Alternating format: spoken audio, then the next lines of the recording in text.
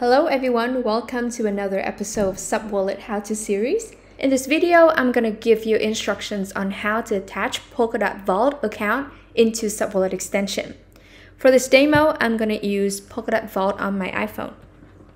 First, open the App Store on your iPhone and download Polkadot Vault from the store. Open it and read through all of the introduction. Hit continue, accept the term and service, and make sure you enable airplane mode and turn off Wi-Fi connection. Then confirm, next. Make sure you're aware of the risk, next. And you can set up the network later when you do the transaction. Okay, since you haven't got any key sets here, hit on add key set and add a new key set. Enter the name for reference, hit next. Make sure you've written down all of your secret recovery phrase and then create key set.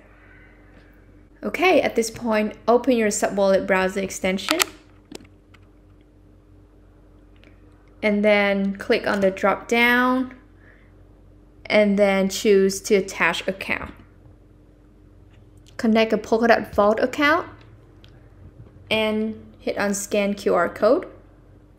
On your phone, click on your account, click on the Polkadot um, key, and here's your QR code. Make sure you scan it. And there you go. You have successfully attached your Polkadot Vault account into your SubWallet extension. And for reference, you can click on this account, hit the edit button, and change the name.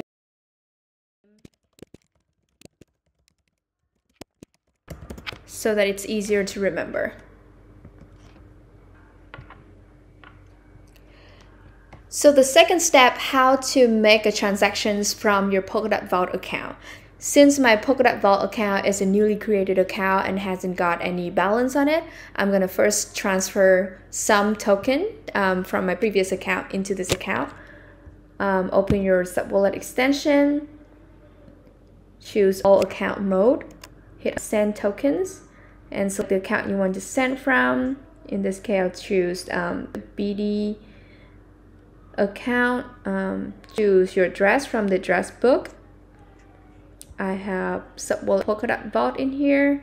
And I'll transfer 1.5 dot to make sure it's above the existential deposit. Hit transfer, review all the information, and hit approve. Okay, you can go on view transaction to view the status of your transfer. Right, it's completed.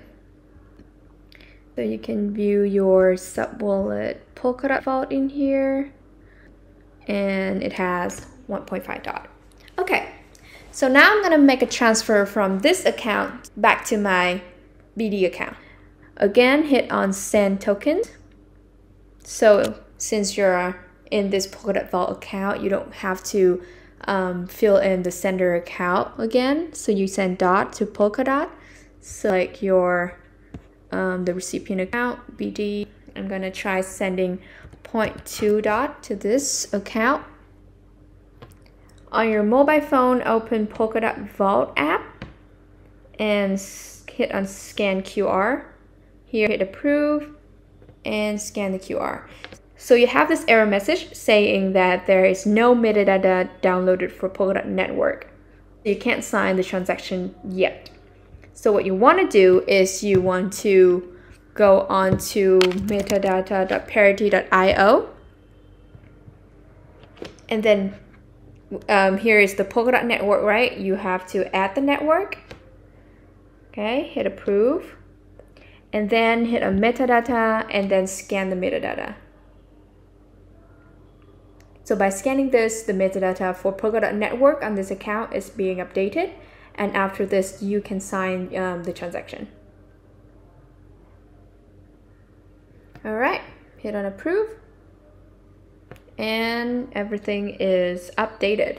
So then go back to your subwallet extension, hit approve again, And then now you can press on here and scan. Enter your iPhone passcode. And you get another QR code, right? So hit scan QR on your SubWallet extension and scan this QR code. All right, the transaction has been done. You can see that my dot balance had just dropped and if you click on history, um, the transaction is being processed and now it's completed. There you go.